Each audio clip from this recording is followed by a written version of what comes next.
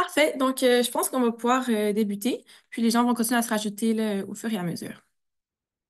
Donc, euh, bonjour à tous et à toutes, et bienvenue à ce premier événement de la deuxième édition des dialogues pour la biodiversité. Nous sommes très choyés de vous avoir ce matin. Avant toute chose, même si cet événement est virtuel, il est important de reconnaître d'où nous rejoignons cet appel. La majorité de nos organisations sont basées à Jojage, communément connu sous le nom de Montréal, un territoire qui a longtemps servi de lieu de rencontre et d'échange entre les peuples autochtones, y compris les nations Haudenosaunee et Anishinaabe. Par la présente, nous tenons à honorer, reconnaître et respecter ces nations à titre de gardiennes traditionnelles des terres et de l'eau sur lesquelles nous nous rejoignons aujourd'hui. Tout d'abord, nous souhaitons remercier nos commanditaires et les organismes partenaires des dialogues pour la biodiversité, qui ont permis l'organisation de ce bel événement. Les dialogues pour la biodiversité, ce sont quatre jours de rencontres intersectorielles, gratuites et en ligne, tenues par la société civile pour démocratiser la 16e conférence des Nations unies sur la biodiversité, connue sous le nom de CDP16. Les dialogues offrent une plateforme vraiment propice aux échanges et à l'apprentissage par rapport aux sujets relatifs aux conférences des parties, particulièrement la défense et la protection de la biodiversité.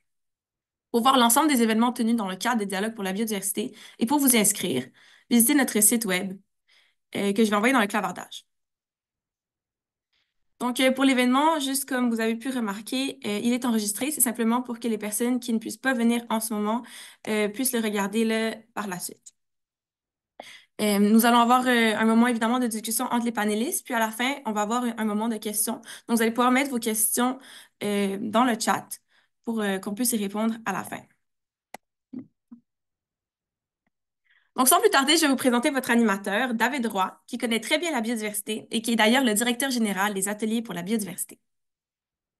Merci beaucoup, Agathe. Merci beaucoup de nous euh, euh, recevoir aujourd'hui pour discuter euh, biodiversité COP15 et COP16. Euh, avant de laisser ma parole à mes euh, très chers euh, panélistes aujourd'hui, que je vais introduire d'ailleurs dans quelques minutes, juste pour rappeler un petit peu de contexte, pourquoi la COP15 et pourquoi aujourd'hui la COP16, évidemment, il faut se rappeler qu'en 2022, on devait mettre en place un nouveau cadre mondial pour la biodiversité. Le dernier cadre qui était le plan stratégique biodiversité 2011 et 2020 était à échéance.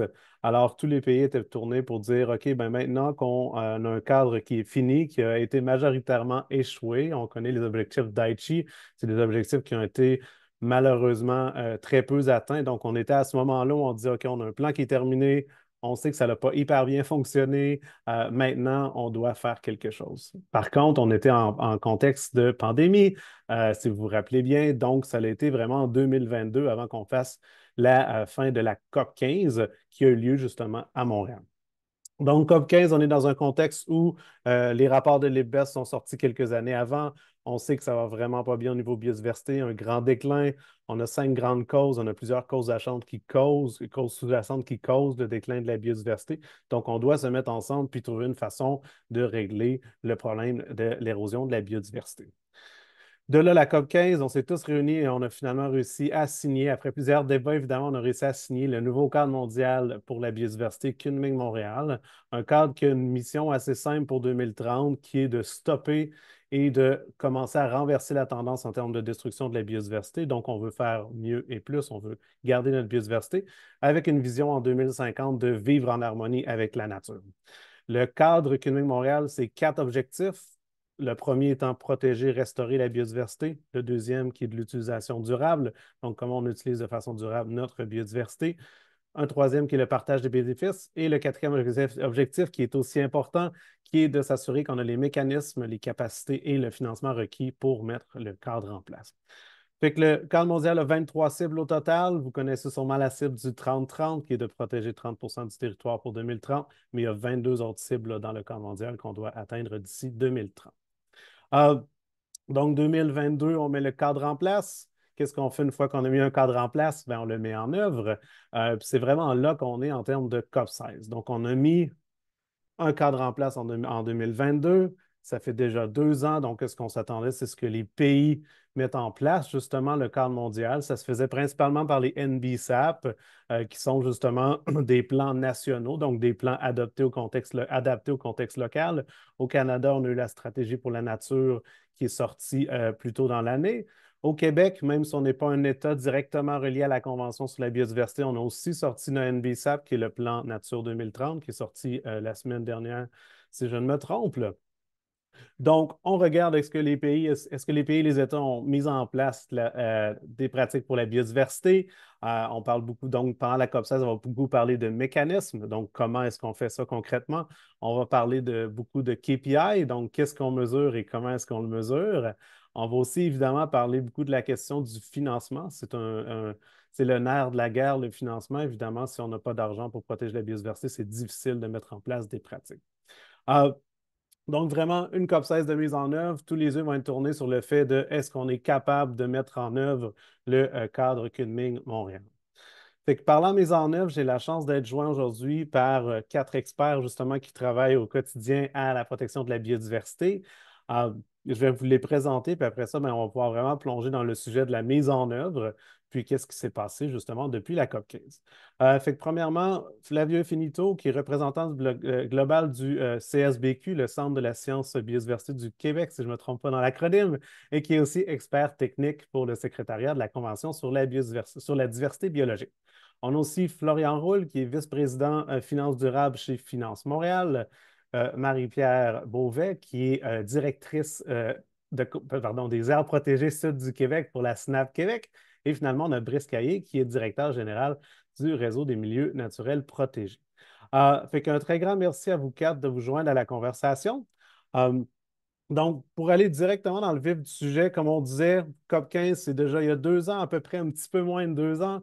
Euh, peut-être en 30 secondes chaque, est-ce que les choses ont évolué dans la bonne direction depuis la COP15 selon vous? Je commencerai peut-être par Flavio. Merci David. Euh, oui, bah moi je suis justement à Cali en ce moment, donc on a eu les, deux premiers jours de, la COP 16 euh, et, je dirais que oui, ça a évolué dans la, dans la bonne direction. Les, parties dans l'ensemble ont fait les, certains pas pour avancer. Donc tu as, mentionné les NBSAP, malheureusement on en a 35 sur 196, donc on n'est quand même pas super loin dans l'avancement, mais euh, on n'en est plus à discuter les mêmes choses qu'on était il y a deux ans. Euh, il y a beaucoup de parties qui ont fait des choses, qui ont avancé. Donc, on va, en parler davantage, je suis sûr, dans la conversation. Donc, en 30 secondes, je dirais qu'il y a eu du progrès, euh, mais il n'est pas forcément aussi intéressant que ce qu'on aurait pu espérer. Merci. Marie-Pierre? Ben oui, alors euh, moi je parlerai peut-être euh, plus spécifiquement du Québec. Donc euh, moi je dirais que définitivement le Québec avance dans la bonne direction. on a eu beaucoup beaucoup d'avancées en termes législatifs, en termes aussi d'accompagnement d'initiatives terrain. Donc il y a eu la révision de la loi sur l'aménagement et l'urbanisme qui a permis d'adopter des nouvelles orientations en aménagement du territoire qui sont résolument tournées vers la conservation des milieux naturels. On a vu des termes comme connectivité écologique apparaître, vraiment des, des, des, des concepts clés qu'on voyait peut-être pas avant dans la planification du territoire qui sont apparus. Euh, il y a eu aussi des annonces de nouvelles aires protégées au Québec comme le Mont Caïcop. Euh, il y a aussi un appel à projet d'aires protégées en territoire public qui a été lancé par le gouvernement du Québec le 5 juin dernier, qui s'est terminé le 15 octobre. Donc, il y a des centaines de propositions d'aires protégées qui ont été soumises par des citoyens, par des municipalités, et tout ça à l'invitation du gouvernement du Québec, qui était une des premières euh, juridictions à, notre connaissance à, faire le pari de s'appuyer sur la société civile pour identifier des potentiels territoires pour l'atteinte du 30% euh, On a un projet de révision de la loi sur les mines. Bref, il y a quand même beaucoup, beaucoup de chantiers euh, au Québec à saluer. Par contre, évidemment, il va falloir accélérer la cadence, faire preuve de beaucoup plus de cohérence interministérielle dans l'atteinte du 30% Je pense qu'on va y revenir. Et j'ajouterais aussi qu'il va falloir beaucoup de courage politique pour mettre en place des transformations profondes et nécessaires de nos modes de vie pour vraiment lutter contre l'érosion de la biodiversité. Merci, Marie-Pierre. je te laisserai euh, rebondir. Oui, ben c'est certain qu'on va, je pense, beaucoup se compléter avec Marie-Pierre. Comme, comme elle a dit, moi aussi, je vais me concentrer un peu plus euh, sur le Québec et le Canada. Puis oui, c'est certain qu'on a vu des grandes avancées euh, depuis, euh, depuis la COP15. Je pense notamment parce qu'elle a eu lieu à Montréal. Là, c'était vraiment très facilitant, très aidant pour nous. Là, on a vu beaucoup de changements législatifs qui vont dans la bonne direction. puis on a fait des gains majeurs en matière de compréhension, tout simplement, en fait, de ce que c'est la biodiversité au Québec. Euh, si je repense en 2021, là, tu as parlé du changement de la loi sur l'aménagement et l'urbanisme dont découlent les OGAT. En 2021, quand le gouvernement nous présentait sa stratégie nationale d'urbanisme et d'aménagement du territoire, qui a été le, point de départ finalement de cette révision-là, euh, milieu naturel et milieu agricole, ça n'existait pas là-dedans. On les regroupait sous un terme qui désignait les milieux non artificialisés. en partant d'un endroit où il n'y a pas de place pour les milieux naturels, arriver à des, orientations gouvernementales en aménagement du territoire qui vont guider l'aménagement du territoire pour les 20, 30 prochaines années peut-être, ou la connectivité à une, une orientation gouvernementale, c'est vraiment un gain majeur. Les milieux agricoles sont aussi très bien considérés dedans, fait qu'il y a eu vraiment tout un gros travail euh, qui a été fait pour éduquer, sensibiliser, puis faire comprendre ces concepts-là. Et je pense que la COP, euh, le fait qu'elle ait eu lieu à Montréal, a définitivement aidé la, la, population, puis les différents niveaux de gouvernement à comprendre et à prendre conscience de ces enjeux et que ça va bien au-delà juste de l'environnement. Euh, donc on a fait des gros gains, c'est de très bon augure, c'est très encourageant. Mais il reste quand même des, euh, des travaux à faire. Il ne faut pas se reposer sur nos lauriers. On pense par exemple aux, autres mesures de conservation efficaces qui sont des très beaux outils pour euh, conserver le territoire. Ça a beau être dans la loi depuis 2020, là, dans la loi sur la conservation du patrimoine naturel, on attend toujours de pouvoir les utiliser au Québec. Fait qu'il reste encore des, des, éléments comme ça à, à faire avancer, mais c'est sur la bonne voie. Parfait, merci Brice. Et euh, Florian, je te laisserai rebondir aussi. Oui, bonjour, euh, bonjour tout le monde. Euh, ben, un peu comme mes, collègues, je dirais qu'on est dans la bonne voie. la COP 15 a, eu l'effet bénéfique de, de, pouvoir jouer vraiment un rôle un peu de, de classe de maître, grandeur nature et, surtout de permettre un rattrapage du secteur privé sur les questions de, biodiversité. Puis moi, c'est ce qui m'a particulièrement marqué il y a deux ans de cela à Montréal, pour la première fois dans une COP sur la biodiversité les acteurs privés étaient fortement interpellés, puis ça se retrouve d'ailleurs dans, certains des, des cibles euh, du cadre mondial sur la biodiversité. Donc il y a eu euh, ce rôle d'accélérateur en termes de prise de conscience de l'importance de la biodiversité au niveau des systèmes économiques et des systèmes financiers euh, en particulier. Mais il reste encore beaucoup, beaucoup de chemin euh, à parcourir de ce point de vue-là parce que euh, mettre à niveau, c'est une chose, éduquer, c'en est une autre, outiller, euh, c'est également un pas supplémentaire. Et puis prendre des décisions en termes de, financement, d'investissement ou d'intégrer cela de façon très précise dans, dans, les opérations économiques et financières, c'est autre chose. On voit que les, les montants qui doivent être alloués sur les questions de biodiversité, c'est plusieurs centaines de de dollars par an d'ici 2050. Aujourd'hui, c'est des peanuts euh, qui ont été euh, mobilisés globalement. Là, on parle de quelques centaines de millions de, dollars à l'échelle mondiale pour euh, mettre en œuvre le cadre mondial. Donc, on voit qu'il y a encore beaucoup, beaucoup de chemin à parcourir. Merci beaucoup, Florian. Donc, on, est positif. Il y a beaucoup qui a été fait, mais on sait qu'il y a encore beaucoup à faire. Euh, fait que c'est quand même bien de, vous entendre voir qu'il y a quand même un momentum, fait que la COP n'aura pas servi à rien. Euh, peut-être euh, rebondir, Florian, sur le financement. Justement, c'est un des, des, comme je disais au début, des nerfs de la guerre. Là. Sans argent, on sait qu'on va avoir de la misère à conserver nos territoires et à, changer nos façons de faire. comment est-ce qu'on fait justement pour investir plus pour la biodiversité? Au niveau des différents secteurs. Puis évidemment, de, ton point de vue, je sais que même le secteur privé se pose la question. Fait que, comment y arrive à financer ce grand défi-là de la conservation de la biodiversité? Ben, avant de financer, il faut pouvoir comprendre euh, quelle est l'interrelation entre le milieu économique, euh, financier, puis la biodiversité et la nature, de quelle façon euh, c'est euh, nos secteurs d'activité économique reposent d'une façon ou d'une autre sur des services écosystémiques qui sont rendus par la nature. Puis le World Economic Forum avait euh, publié il y a quelques années là, dans, dans, sa revue annuelle euh, le fait que le, PIB mondial repose d'une façon ou d'une autre à 50% sur ces mêmes services écosystémiques. Alors on peut questionner cette assertion-là, à savoir est-ce que c'est 50% Moi je suis plutôt de, de, de de la famille de pensée de ceux qui disent que bah non, c'est 100% là, de, de, notre, euh, de notre système économique financier, in fine, qui repose d'une façon ou d'une autre euh, sur euh, la nature, qui rentre dans nos chaînes d'approvisionnement, qui rentre dans nos modèles d'affaires, parce qu'on est basé sur des ressources naturelles qui sont utilisées pour nos systèmes productifs et, et économiques d'une façon ou d'une autre. Donc, il faut pouvoir se rendre compte de cela, il faut pouvoir évaluer l'impact et les dépendances euh, des systèmes économiques euh, par rapport à cette nature, à cette biodiversité. Euh, c'est encore très émergent, très embryonnaire, un peu comme je disais juste avant.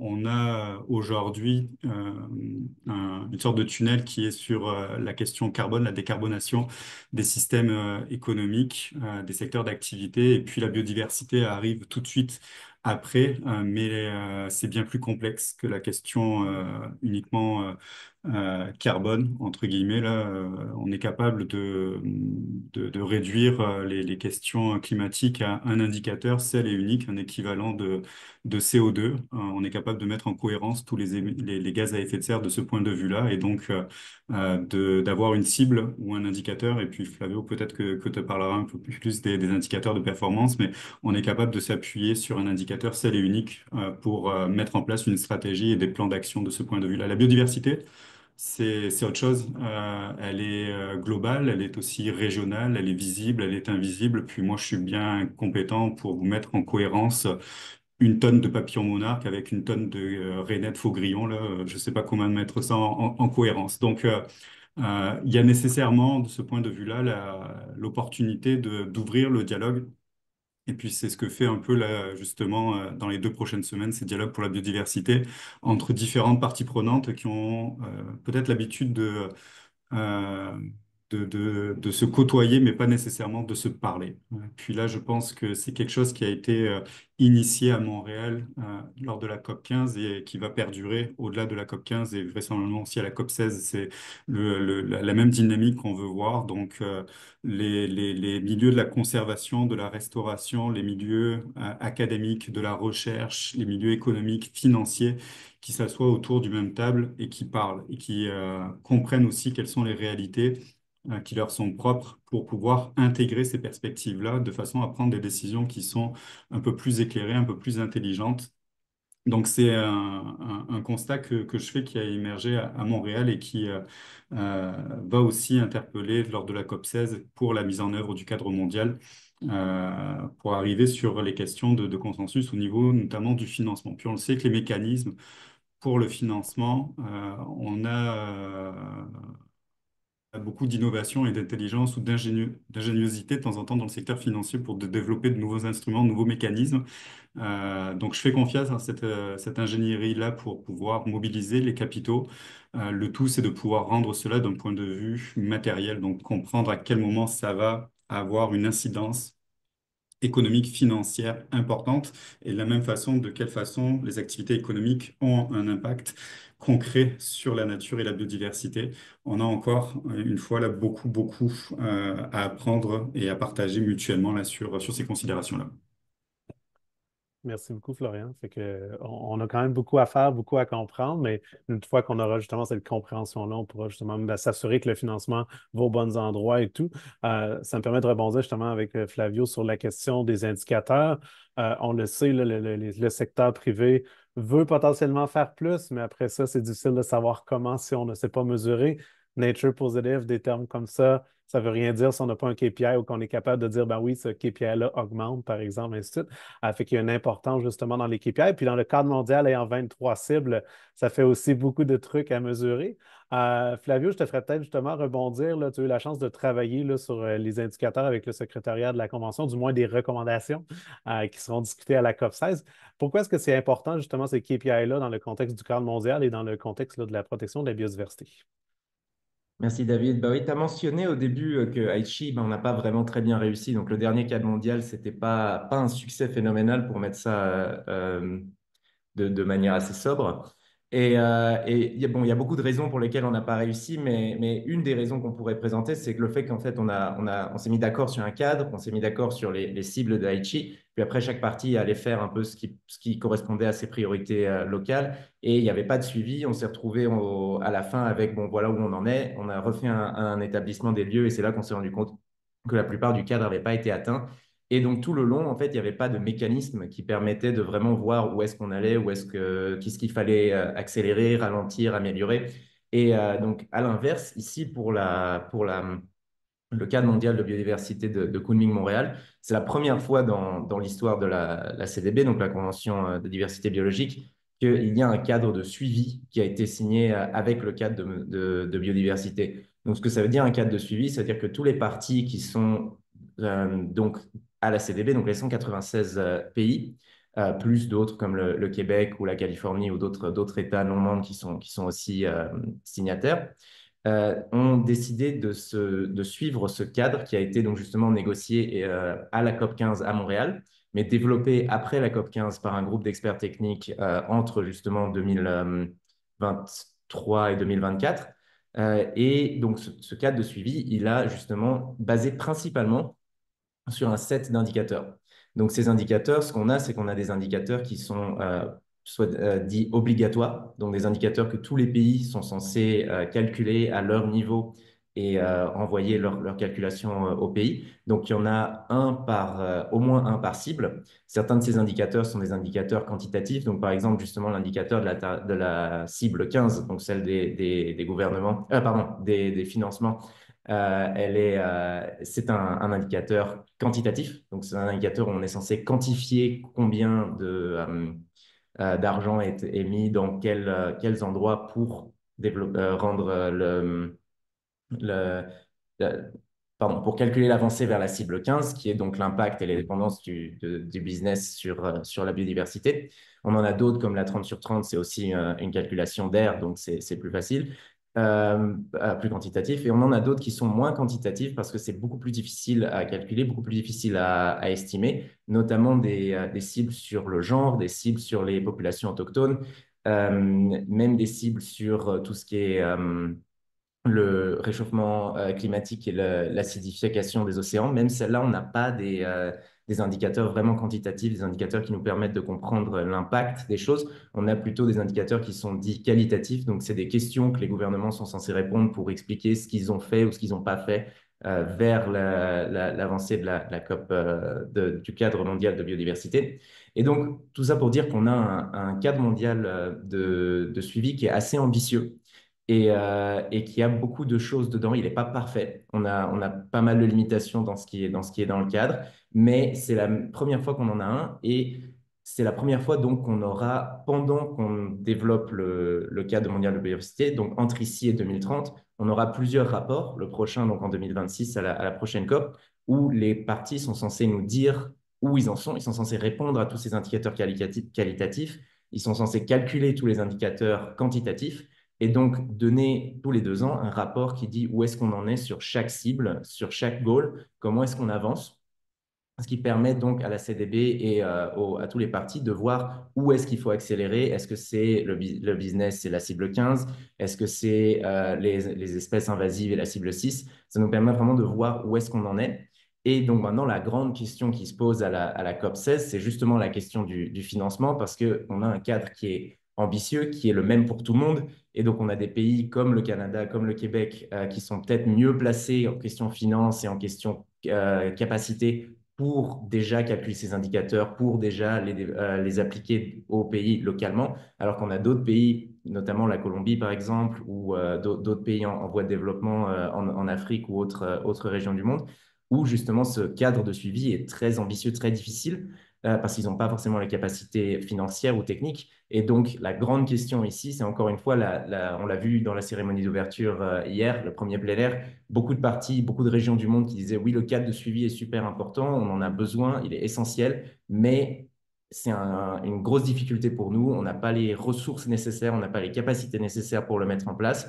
Et donc maintenant, il faut vraiment se poser la question de comment est-ce qu'on remplit ce, trou de financement dont Florian vient de parler qui, en partie, doit être dirigé vers le suivi, parce que sinon, on ne pourra pas savoir où on en est. Et 2030, ce n'est pas dans très longtemps. Donc, on ne peut pas vraiment se permettre de continuer à réfléchir, à penser quel indicateur, comment est-ce qu'on développe, etc. On en a, ils ne sont pas parfaits, mais ils sont développés. Donc, maintenant, il est vraiment temps de trouver un moyen de les calculer, de répondre, de voir quel est notre progrès d'ici 2030 pour qu'on puisse rediriger l'attention dans les cibles et les endroits qui sont peut-être plus en arrière que d'autres. Euh, et pour ça, on a besoin donc financement en capacité euh, et un accord aussi parce que évidemment tout le détail du cadre de suivi n'est pas complètement euh, terminé encore aujourd'hui. Donc avec un peu de chance, d'ici jeudi, on aura fait un progrès là-dessus sur les derniers détails. Parfait. Merci beaucoup, Flavio. Ça rappelle l'importance justement que c'est un problème mondial, donc on doit collaborer justement pour que tout le monde soit en mesure de mettre en place des mesures. Ça demande aussi au secteur privé, par exemple, de considérer sa chaîne de valeur complète pour justement s'assurer qu'on n'a pas des effets pervers sur d'autres pays et d'autres parties liées à la Convention. il y a un qui piège justement que tu as mentionné, pardon, un indicateur qu'on a mentionné qui est assez connu, le fameux 30 Il ne faut pas oublier évidemment que le 30% demande aussi un territoire représentatif et connecté, mais reste que c'est quand même plus facile à mesurer ce 30 %-là.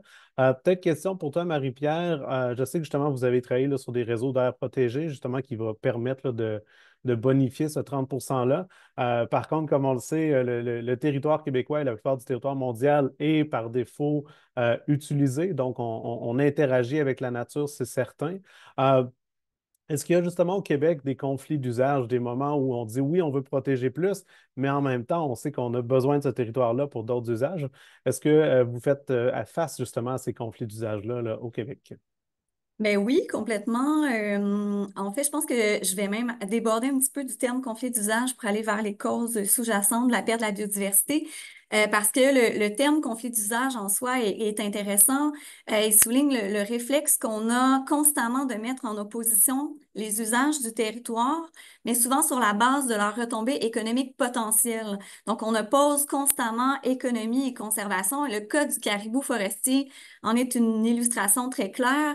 Donc, on oppose la survie d'une espèce qui est pourtant parapluie, donc une espèce qui est indicatrice de la santé des écosystèmes forestiers, à la survie économique de villes et villages mono-industriels, donc dépendants de la foresterie. Euh, alors que protéger le caribou, finalement, ça permettrait de préserver les forêts et par là l'économie. Donc, on est vraiment souvent dans cette dichotomie économie-conservation. Et pourtant, comme le mentionnait Florian, nos économies, en fait, sont tout simplement dépendantes de la nature. Et j'ajouterais aussi que les retombées socio-économiques positives de la conservation de la biodiversité sont souvent mal évaluées, voire carrément sous-évaluées. Donc, on ne sait pas non plus combien ça rapporte de protéger le territoire, mais on sait très bien combien ça rapporte de couper une forêt, par exemple. Donc, c'est pour ça qu'à notre avis, à la SNAP Québec, il faut plus de cohérence entre les missions des différents ministères. Donc, à l'heure actuelle, par exemple, le ministère de l'Environnement est le seul qui doit créer des aires protégées, alors que le ministère des Ressources naturelles et des Forêts attribue des droits forestiers, des droits miniers, comme s'il n'y avait pas de 30% qui avait été pris comme engagement au niveau du Québec mais on prône aussi une profonde transformation de l'économie et des valeurs sociétales qui permettent cette destruction-là de la nature au profit de la croissance économique. Et justement, les gouvernements tendent souvent à faire des crises climatiques ou de la biodiversité des opportunités économiques ce qui ouvre la porte, bien sûr, à certaines dérives. Par exemple, la crise climatique est présentée comme une opportunité de développer des énergies de transition et donc de bâtir une économie verte. C'est pas pour rien non plus qu'au Québec, on voit les claims miniers se multiplier partout sur le territoire jusqu'à euh, carrément faire obstruction à l'atteinte du 30 de, de conservation du territoire. Donc, quand on présente les crises comme des opportunités de croissance plutôt que de chercher à en comprendre les rouages et agir sur les causes, bien, on occulte des variables importantes comme l'acceptabilité sociale ou l'impact cumulatif aussi des, des méga projets industriels et ça me faisait penser en février dernier, en, préparant la, présentation de ce matin, euh, je, repensais en février dernier au premier ministre du Québec qui s'inquiétait des contestations contre certains grands chantiers industriels pour développer justement l'économie verte du Québec, pour reprendre ses propos. Il disait il faut changer d'attitude au Québec. Ça, c'était en marge d'une manifestation pour exiger que le projet de méga usine de Norval soit soumis à un examen du BAP. Donc, encore une fois, ici, on veut, on on veut se précipiter, on veut créer, on veut, on veut faire de la transition, la transition énergétique une opportunité d'affaires au Québec. Donc, on bouscule les étapes. Et la résultante, c'est qu'à l'heure actuelle, non seulement il y a des milieux naturels qui ont été détruits, euh, mais on n'a aucune certitude que le projet va avoir lieu, ni de sa contribution réelle à la transition au Québec. Et c'est pas que le Québec qui agit de cette façon-là. Donc, un exemple parmi tant d'autres, au Royaume-Uni, pour renforcer les puits de carbone, on a planté des arbres sur des milieux humides qui sont pourtant les milieux naturels les plus riches en carbone. Donc, en conséquence, les arbres ont progressivement asséché les milieux humides en, grandissant, ce qui a libéré le CO2 que les milieux humides stockaient. Donc, on peut aussi faire le parallèle avec d'autres fausses bonnes idées, comme au Québec, on avait aussi cette idée de, de rajeunir les forêts anciennes euh, par des forestières comme stratégie de lutte contre les changements climatiques. Donc, on voit que c'est des approches qui démontrent non seulement une vision simpliste des écosystèmes, mais aussi des solutions qui, qui vont devoir être mises en place et ça, c'est sans compter tout le mouvement des technosolutions, c'est-à-dire, par exemple, électrifier le réseau routier, mais sans remettre en question la dépendance à l'auto solo ou la planification auto-centrée des villes et des banlieues, injecter du fer dans les océans pour développer le plancton, euh, malgré les risques de dommages que ça peut causer pour les poissons ou le, risque de, de, de, favoriser des espèces qui vont émettre d'autres types de gaz à effet de serre comme l'oxyde nitreux. Donc, vraiment, en opposant constamment là, économie et conservation, les États, dont le Québec, risquent non seulement de faire du surplace, euh, mais aussi de créer de nouveaux conflits d'usage, voire des conflits sociaux, et de mettre en œuvre des fausses bonnes idées. C'est pour ça qu'à la SNAP Québec, on s'intéresse de plus en plus aux solutions aux causes sous-jacentes de la perte de la biodiversité, à savoir des transformations profondes de notre modèle économique qui est essentiellement basé sur la croissance infinie, et donc, les prochaines années, à notre avis, vont devoir euh, euh, voir l'émergence d'approches des transformatrices qui vont nécessiter non seulement une action interministérielle cohérente, mais aller bien au-delà des réformes législatives qu'on a vues, même si c'est des bons pas dans la bonne direction, il va falloir aller beaucoup plus loin. Et euh, en marge de la COP 15, d'ailleurs, la SNAP avait lancé l'initiative de l'appel de Montréal, justement, qui était un texte qui, présentait en fait le fait qu'il va falloir s'attaquer à ces causes sous-jacentes donc, comme je le mentionnais, le, modèle économique basé sur la croissance notamment, ça a été endossé par la Ville de Montréal, par le gouvernement du Québec, mais aussi le gouvernement canadien. Et j'ai des collègues à l'heure actuelle qui sont à Cali justement pour poursuivre la discussion euh, par rapport à, justement ce qu'il va devoir falloir faire. Et euh, peut-être une dernière note aussi plus positive, parce que ça peut être un, peu euh, angoissant tout ça, toutes les transformations qu'il faut faire. Mais euh, la SNAP Québec, on a été vraiment sur le terrain dans le cadre de l'appel à projet d'art protégé euh, en territoire public qui a été lancé par le gouvernement du Québec.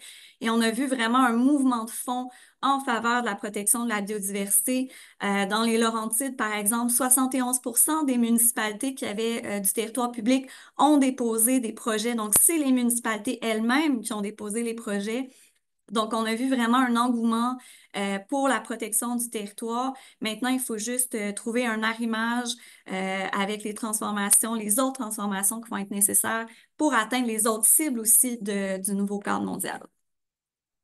Merci Marie-Pierre. Tu nous rappelles qu'il n'y a pas d'économie verte sans biodiversité de toute façon. Fait que l'économie est basée, le Florian l'a si bien dit. puis en fait, je vais rebondir sur le fait de, la cohérence et tout. Le cadre mondial, de toute façon, on le dit, tous les acteurs de la société doivent agir et transformer leur modèle pour justement arriver aux 23 sites. Fait que oui, ça semble épeurant, mais c'est une demande qui, qui, qui, pratiquement écrit dans le texte qu'on doit faire ces changements-là, puis s'assurer que tous les acteurs sont cohérents et aussi profitent des synergies qu'il y a entre les différentes crises d'une certaine façon, puis qu'on ne fasse pas des solutions isolées qui vont au contraire affecter une crise plus que l'autre. Merci beaucoup pour ça.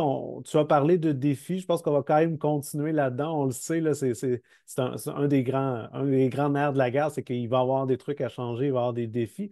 Euh, je vous laisserai peut-être les trois autres intervenants rebondir justement sur quelques défis euh, pour la mise en œuvre du cadre mondial, puis évidemment plus localement du plan nature. Euh, peut-être en commençant par Brice. Oui, euh, ben, moi, j'ai beaucoup de choses à dire. Je vais essayer de rester synthétique là pour laisser le temps à mes collègues. Mais euh, dans le fond, c'est ça, comme Flavio disait, c'est vraiment important d'avoir des indicateurs pour faire le suivi parce qu'on se rappelle, Daichi, tu as très bien dit qu'on n'avait pas atteint les objectifs. Mais moi, j'ai entendu beaucoup de monde dire on a atteint les objectifs parce qu'on a protégé 17% du territoire. Mais ça, c'est une des cibles. Et au, niveau euh, du cadre mondial qu'on a en ce moment, on a une cible qui est très facile à communiquer, c'est le 30 par 30 c'est très important d'avoir des suivis, puis je pense que c'est notre travail aussi en tant qu'organisation qui travaillons là-dessus, de rappeler régulièrement, il y a 23 cibles, l'objectif c'est pas de protéger 30% du territoire, mais c'est une des cibles pour stopper la perte de biodiversité. Fait que c'est pas en atteignant cette cible qu'on aura réussi notre mission, c'est en stoppant la perte de biodiversité et protéger 30% du territoire en fait partie. Et euh, je me permets d'insister là-dessus parce que c'est vraiment quelque chose qui est très important dans le sens où au Québec, bah, c'est ça, on a 8% du territoire qui est constitué de terres privées, donc qui appartiennent à quelqu'un, des municipalités ou autres. Et euh, bah, c'est un territoire qui est concentré dans le sud. Puis c'est là où on va retrouver toutes nos activités. Euh, c'est là où on habite, c'est là où on cultive nos terres pour se nourrir, c'est là où on travaille. Marie-Pierre tantôt parlait par exemple de là où on construit une usine de batterie, c'est en terre privée. Fait que c'est vraiment là où on utilise au maximum le territoire, même s'il y a des exploitations forestières ou minières en terre publique, ce n'est pas, pas, pas, la question. Mais c'est vraiment là où on habite et où on a besoin de ces terres-là. Et c'est aussi là où on va retrouver plus de 50% des espèces menacées et vulnérables. Fait que ça devient très important de protéger les derniers habitats, d'avoir des indicateurs pour les mesurer, justement pour voir ok, combien d'habitats essentiels on a protégés pour des espèces. Euh, je pense que c'était Florian qui parlait de la rainette faugrillon, par exemple, tantôt. Ben, c'est là qu'on va les retrouver. Fait que c'est vraiment important de venir euh, protéger ces territoires-là. Et euh, bah, c'est là où ça va être très important de, maintenir la connectivité et de briser les silos. Marie-Pierre aussi en a parlé tantôt. Euh, il n'y a pas si longtemps, une municipalité qui voulait zoner son territoire conservation parce qu'elle avait à cœur de maintenir son territoire, de, remplir son rôle de municipalité en, régulant l'aménagement du territoire, bah, elle pouvait se faire poursuivre pour expropriation déguisée. Euh, il y a pas si longtemps en arrière, on remonte à l'époque de la COP 15, une municipalité qui disait Ah, c'est le dernier boisé d'importance sur mon territoire, euh, je veux contribuer à ce qu'il soit conservé. Si elle mettait en place un zonage comme ça, elle risquait de se faire poursuivre pour expropriation déguisée, de se faire taxer pour des millions. Fait qu'on a vu des changements comme ça apparaître, là, quand on parlait de briser les silos, c'est important. comme Marie-Pierre le disait, ce n'est pas la seule responsabilité du ministère de l'Environnement de mettre en place ce cadre mondial parce que ça concerne l'aménagement du territoire et l'aménagement du territoire est concerné par absolument tous les ministères. Fait que c'est important que ça transige, que ça percole vers les autres. Et comme euh, je le disais, on l'a vu un peu tantôt, là, on commence à sortir des silos, on arrive à les briser.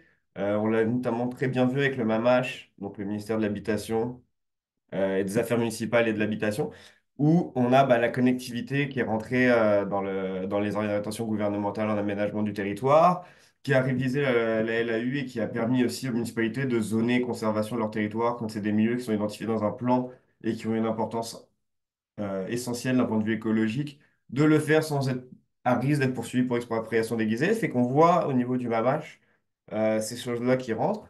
Mais on a par exemple le ministère de, de l'Agriculture, le MAPAC, qui est en train de revoir la LPTA ça va être important d'intégrer aussi ces enjeux-là dans ce ministère-là. Ça va être important d'intégrer ça au niveau du ministère de l'Énergie. bref, tous les ministères sont concernés et il euh, faut que ça percole parce que sinon, en fait, l'aménagement du territoire, c'est plein de règlements et de lois qui s'impliquent les, unes sur les autres.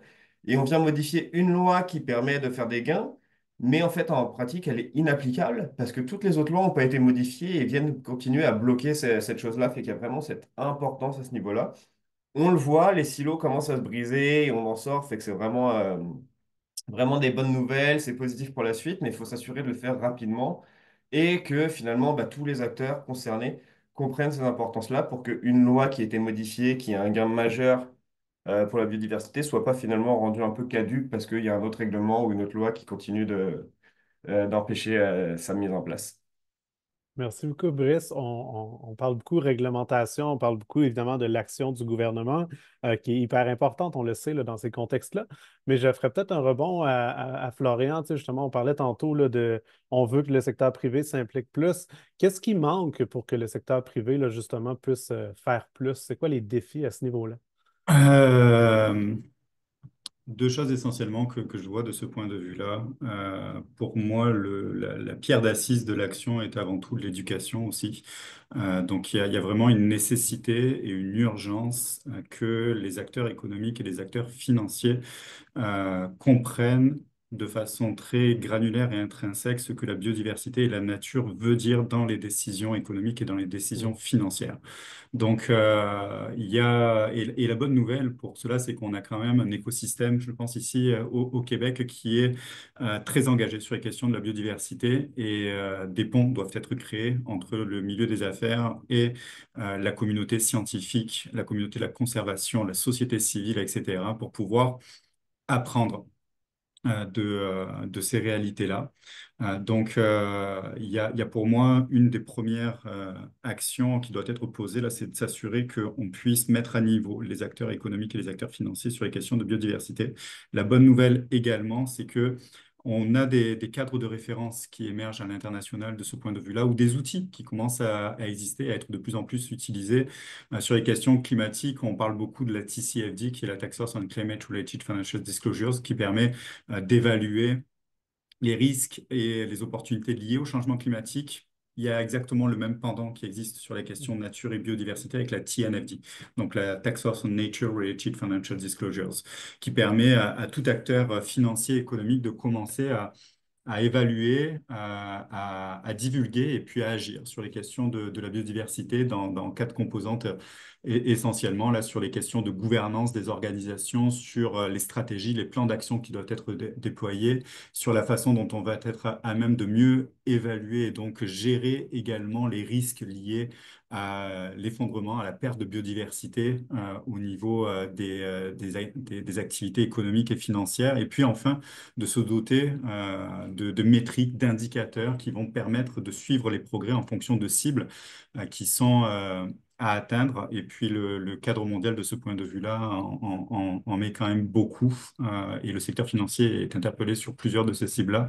Flavio parlait de la cible 15 au niveau des indicateurs, etc. On, peut penser à d'autres cibles sur la mobilisation du financement, comme je le disais, avec 700 euh, milliards de dollars annuellement d'ici 2050, là, qui doivent être euh, alloués à des, stratégies de préservation et de conservation de la nature. Je pense à des outils aussi tels que Encore, euh, comme, ça mhm. comme ça se prononce, euh, qui sont aussi des, bases de données là, qui permettent de, fournir de l'information utile et pertinente au niveau des activités économiques. Et puis, plus proche de chez nous aussi, au Québec, il y a des initiatives locales qui allient société civile, organismes de la conservation, milieu économique, financier, et qui d'ailleurs implique énormément la SNAP avec des indicateurs de biodiversité pour investisseurs du Québec qu'on est en train de, de, développer, de co-construire avec le milieu de la recherche, avec le, euh, des investisseurs institutionnels pour comprendre l'interrelation très étroite entre des activités économiques et la biodiversité sur nos territoires ici au Québec. Euh, et, d'ailleurs, euh, ce, projet, qui est un projet collaboratif, permet de tester aujourd'hui certaines euh, réalités dans des projets miniers, par exemple, de voir ben, comment est-ce qu'on met en balance euh, des projets qui sont bien souvent sur des territoires d'intérêt en matière de conservation et de préservation de la biodiversité et de la nature dans, euh, notre province. Donc, euh, le, premier des éléments pour moi, c'est vraiment celui de l'éducation qui est extrêmement important. Le deuxième des éléments, c'est ce que je qualifierais de vélocité.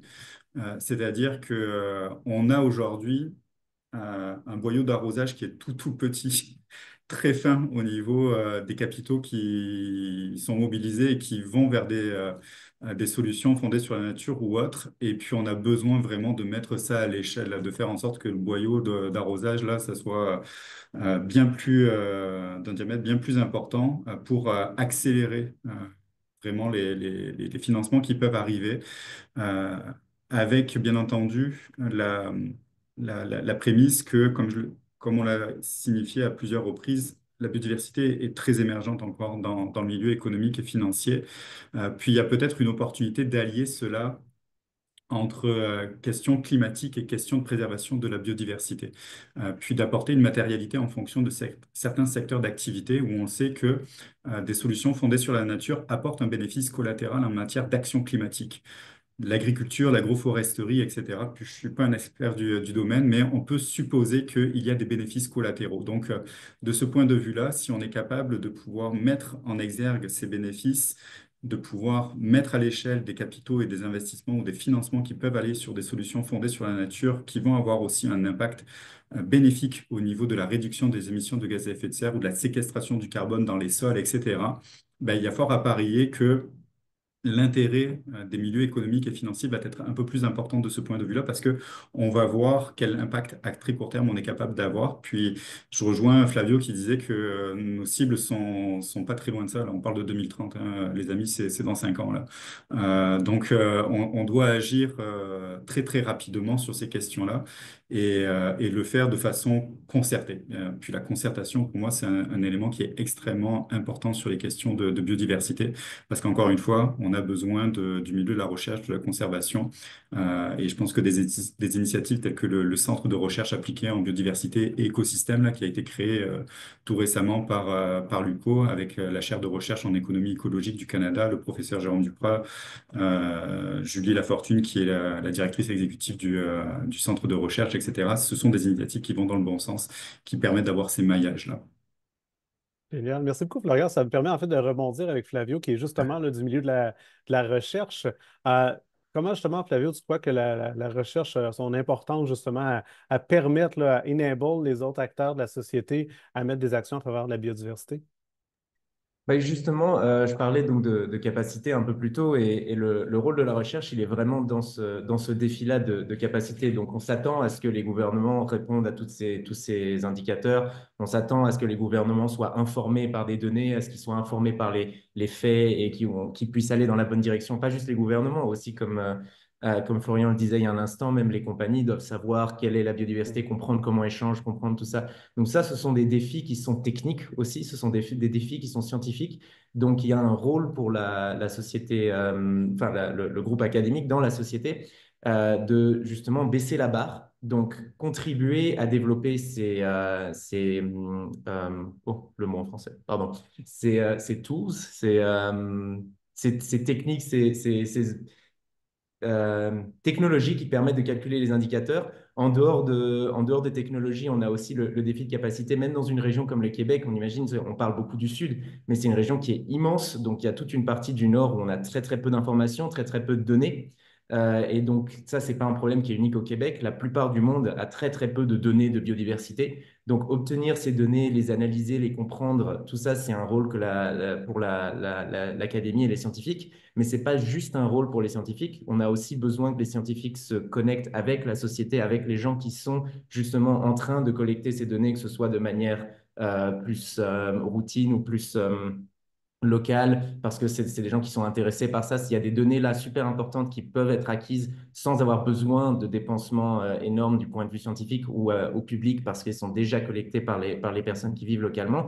Et là aussi, il y a un rôle énorme pour les, justement les communautés autochtones, notamment dans des régions qui sont très difficiles à atteindre, euh, donc comme le nord du Québec, comme le, fond de l'Amazonie, où là, on n'a pas les données dont on a besoin et on ne les aura pas en très très peu de temps. Et donc, il y a des, il y a des savoirs autochtones, des façons de comprendre le changement euh, de biodiversité, de savoir où est l'état de la biodiversité que les populations là ont. Donc, engager justement avec ces personnes-là de manière euh, respectueuse, de manière ouverte et qui permet de comprendre mieux comment change la biodiversité est aussi un rôle important euh, pour, euh, pour nous, mais pour, euh, pour eux aussi. Donc, il y a beaucoup d'endroits où les divers scientifiques peuvent engager, soit donc, justement dans la collecte de données, dans le développement de techniques, de, de, de, façon de calculer les indicateurs, mais aussi dans l'engagement avec la société. Il y a aussi un rôle pour les académiques de, justement d'expliquer beaucoup mieux ce qu'est la biodiversité, que ce soit euh, au, monde du business, euh, au monde euh, public, d'expliquer quelle est la biodiversité, pourquoi on en dépend. Justement, il n'y a pas que 30 pour 30, il y a tout un tas de choses. Il y a, la, il y a, la, euh, il y a les invasions euh, d'espèces, il y a les services écosystémiques, il y a la, la, sécurité biologique qui fait aussi partie de la, Convention. Tout un tas de questions qui sont bien plus étendues que le 30 pour 30. Et, euh, et donc ça, ce sont des rôles pour l'Académie, pour, pour les chercheurs, développer les techniques et les, et les façons de comprendre la biodiversité obtenir des données et pour ça engager avec les, populations locales euh, et, autochtones et euh, communiquer avec le, public et aussi le, monde privé. Merci beaucoup, Flavio. Euh, on va devoir bientôt passer à la période de questions. je vais poser une question un petit peu plus large pour finir. Vous allez avoir une minute chaque pour y répondre. Je vais vous compter à la montre. Je vais vous muter si ce n'est pas fait comme ça. Je blague évidemment.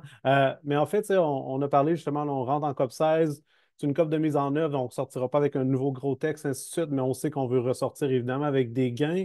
Euh, on a le plan nature, on a la stratégie canadienne qui a justement été publiée il n'y a pas très longtemps.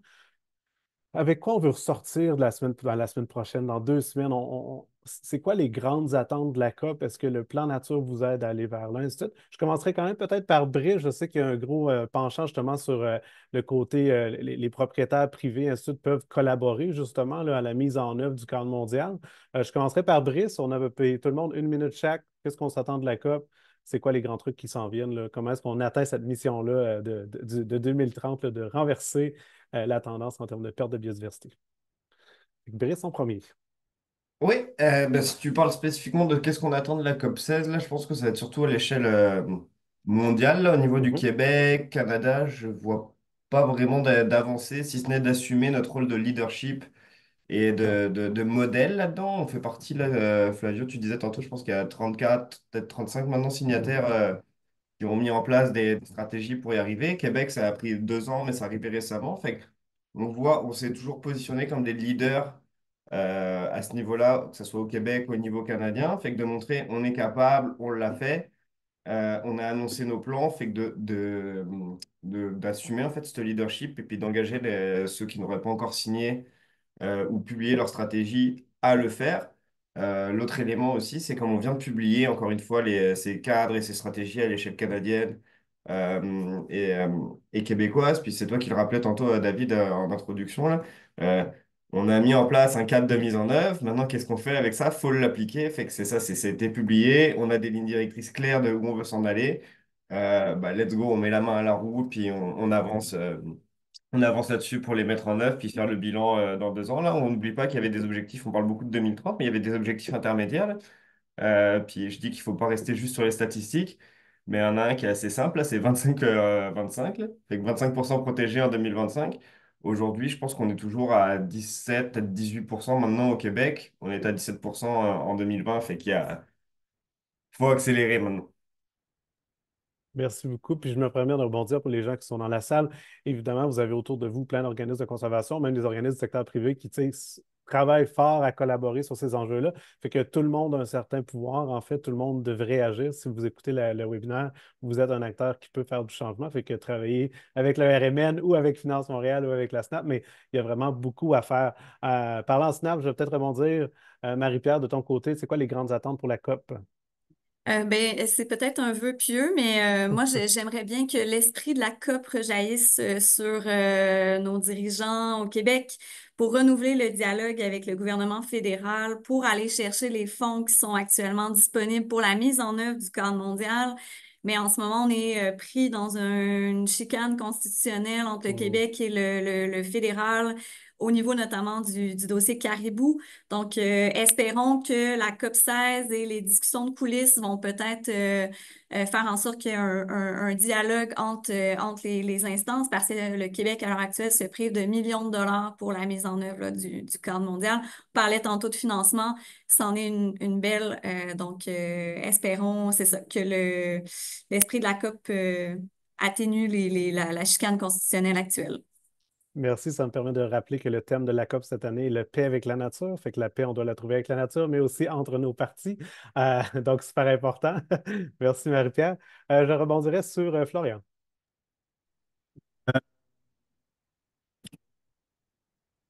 Au risque de répéter une, vieille cassette, là, pour moi, c'est vraiment l'accélération dans, la mobilisation des capitaux et des investissements au niveau de la biodiversité. Euh, on est encore très très loin de la coupe aux lèvres de ce point de vue-là.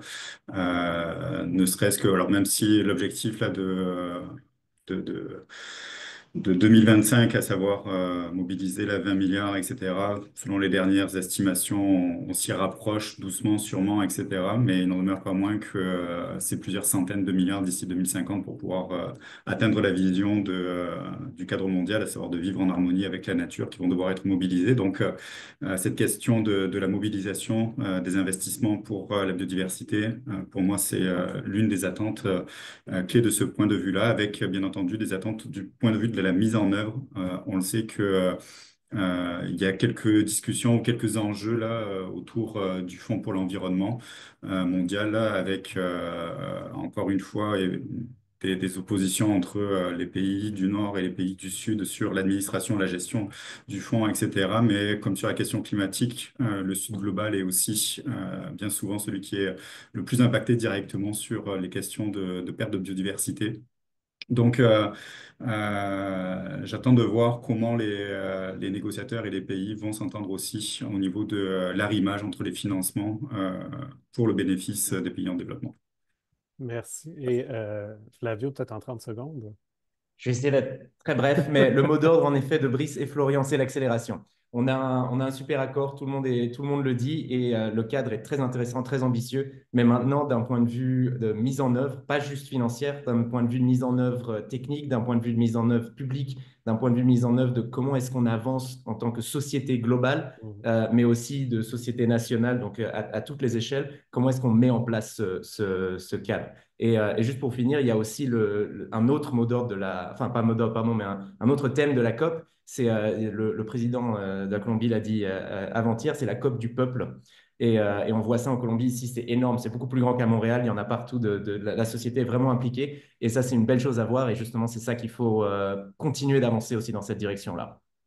Parfait. Merci beaucoup, Flavio. Ben, ça rappelle qu'il y a vraiment un momentum, puis on le voit avec les gens dans la salle, les, les, panélistes aussi de différents secteurs. Toute la société doit et peut agir. C'est vraiment en collaborant qu'on va pouvoir aller de l'avant. Beaucoup de défis à relever, vous les avez mentionnés, mais en même temps, beaucoup d'énergie qui est mise dedans. Fait que merci à, vous tous de, contribuer à cet enjeu. Ben, contribuer pas à l'enjeu, à la résolution de l'enjeu, évidemment. Fait que merci beaucoup.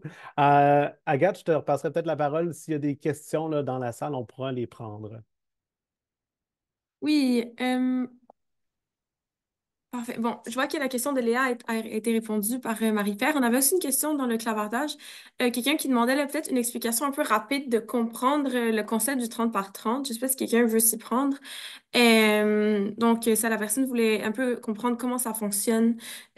Marie-Pierre, si tu veux y aller, vas-y. Oui, ben en fait, j'ai lu la, la question. Donc, euh, très intéressant. D'abord, le 30 par 30, c'est 30 de, de territoires protégés ou conservés d'ici 2030. L'objectif, c'est euh, d'avoir une, vraiment une représentativité des habitats. Donc, on ne voudrait pas, par exemple, au Québec, seulement un 30% dans le nord du Québec. On veut un 30% qui soit représentatif autant des écosystèmes du sud du Québec au sud du Saint-Laurent euh, jusqu'au nord. Donc, l'idée, c'est pas simplement de dire, ben, euh, on atteint 30% le reste, on peut, euh, le reste, on peut ne pas en tenir compte. Il faut que ce soit un 30% cohérent, euh, qui justement avec une belle représentativité. Et pour le reste du 70% du territoire, l'idée, c'est aussi d'avoir une gestion durable des ressources naturelles. Mmh. Donc, pas un 30% des arbres protégés qui sont finalement isolés au sein d'une matrice industrielle où les espèces n'arrivent pas à se déplacer. Donc, on veut un 30% connecté et ça, ça va passer par une, utilisation durable du reste du territoire. Donc, en espérant que ça réponde à la question euh, du chat. Oui, merci. Puis je vais rebondir, c'est le point qu'on dit souvent, qu'on a des fois de la misère à dire en société civile, mais il y a 22 autres cibles qui sont hors le 30% C'est là-dedans, justement, qu'on parle de OK, protéger 30% ça ne veut pas dire aller ailleurs puis aller détruire. Dans le fond, le but, c'est pas justement de, que nos chaînes de valeur soient transformées pour aller aller faire du, dommage ailleurs. Vraiment important, le 70% n'est pas une cible, évidemment, mais il y a beaucoup de cibles qui concernent ce 70 %-là. Euh, Brice, tu peux rebondir aussi? Oui, ben c'est, en fait, tu l'as, tu l'as bien résumé. Là, je vais rebondir sur ce que disait Marie, euh, Marie-Pierre, mais c'est ça, c'est vraiment 30% protégés euh, qu'on va, on va créer des sanctuaires pour la biodiversité, mais pour qu'ils soient cohérents et efficaces, ces sanctuaires-là, il y a besoin, encore une fois, de connectivité, que les espèces puissent se déplacer. Et il y a tout bah, l'aménagement du 70 autour. Tu sais, il y a des, euh, il y a des cibles qui concernent le milieu agricole, il y a des cibles qui concernent les activités énergétiques. Fait qu'il y a, il y a tout ce maintien-là. Là, pas on protège 30%, puis c'est porte ouverte à, à détruire le 70%. Le 70% est aussi, sinon plus important que le, le 30% dont on parle.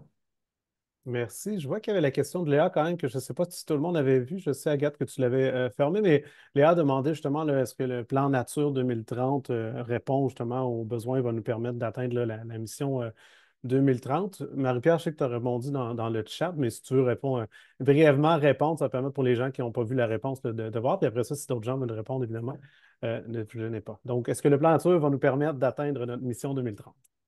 Le plan nature est quand même très ambitieux. Il y a plusieurs euh, éléments très intéressants, notamment un programme de soutien aux communautés autochtones pour euh, la création d'arbres protégés d'initiatives autochtones. Euh, on a aussi des indicateurs, des cibles. Donc, c'est quand même un, plan qui est plutôt élaboré. après, je dirais qu'il y a quand même une lacune au niveau des forêts publiques. Donc, une cible d'utilisation durable et au niveau de la forêt publique, il y a assez peu d'informations dans le plan nature à l'heure actuelle, alors qu'on sait que hum, l'industrie forestière est en crise euh, pour plein de, en raison de plein de facteurs. Donc, le plan nature aurait potentiellement pu contribuer à une transition euh, juste du secteur forestier. Donc, euh, je dirais que c'est peut-être un angle mort à l'heure actuelle du, plan nature. Sinon, il va falloir voir à, l'usage, mais ça semble un plan nature quand même très ambitieux avec beaucoup d'argent aussi pour mettre en œuvre les cibles et les indicateurs.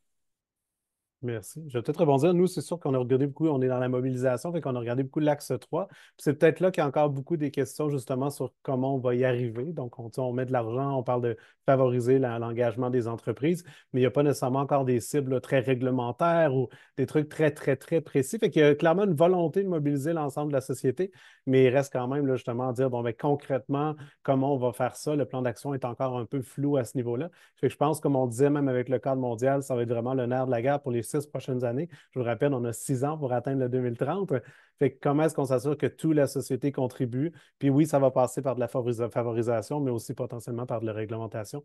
Ah, fait que vraiment rappeler le, besoin de la cohérence, puis euh, que tout le monde de la société doit agir pour régler ces, grands chantiers-là des causes sous-jacentes, justement. Parfait. Puis là, dernière question, je pense qu'on a peut-être une minute. Euh, comment on évite la fameuse cloche de verre? Pour ceux qui ne connaissent pas le terme euh, la cloche de verre, c'est de dire on conserve puis on perd toute utilisation du territoire, ce qui fait qu'on retire même les communautés locales des bulles. donc, c'est on s'approprie un territoire seulement pour la conservation. Euh, je pense que Brice pourra parler peut-être des AMCA. Tu nous as parlé un petit peu tantôt aussi, les différents trucs, mais tu vas peut-être commencer Marie-Pierre qui avait levé la main en premier. Ben déjà, je pense que euh, de façon générale, les aires protégées en territoire public, donc euh, territoire des terres de la couronne et tout ça, euh, c'est, loin d'être des cloches de verre. Il y a quand même des parcs régionaux, des EC, des pourvoiries. les parcs nationaux aussi sont un bon exemple d'une aire protégée qui est pourtant de catégorie plutôt stricte. Pourtant, on permet beaucoup de récréotourisme. Euh, dans certaines aires protégées, on permet aussi la, sériculture. Donc, euh, il y a quand même beaucoup d'activités qui sont permises au sein des aires protégées. C'est loin d'être des cloches de verre, à part peut-être la réserve écologique. Euh, donc, il y a quand même toute une panoplie aussi d'outils. Euh, puis de, le gouvernement tend aussi à, aller vers euh, des outils qui sont un petit peu plus flexibles. Donc, je vais peut-être laisser la parole à Brice. Je ne sais pas si tu voulais enchaîner justement sur les AMCA, mais déjà juste déconstruire l'idée qu'une aire protégée, c'est une cloche de verre. À la base, ce n'en est pas une. C'est plus un outil de mise en valeur du territoire pour que les gens, d'autres usagers, pas que les industries, aient accès aussi au territoire public, puis un territoire public qui est agréable, naturel, avec des paysages intéressants. Donc, je pense qu'il faut plutôt voir les aires protégées comme des outils de mise en valeur. Juste rapidement, avant de passer, je, je vais te laisser rebondir, Flavie aussi, mais je sais qu'il est comme 9h30, il y a des gens qui vont quitter pour des meetings importants. Je veux juste vraiment prendre le temps de remercier justement Brice, Flavio, Florian et Marie-Pierre de s'être joints à la conversation. Merci pour vos insights. Merci évidemment à Agathe d'avoir organisé euh, les, dialogues. Fait qu'un grand merci euh, pour ceux qui doivent quitter rapidement. Sinon, évidemment, je laisse le Brice rebondir justement sur cette question. Merci à je, je, fais partie de ceux qui doivent vous quitter. Donc, euh, merci beaucoup pour, pour l'invitation. Ça, ça a été un plaisir. Bonne journée à tout le monde.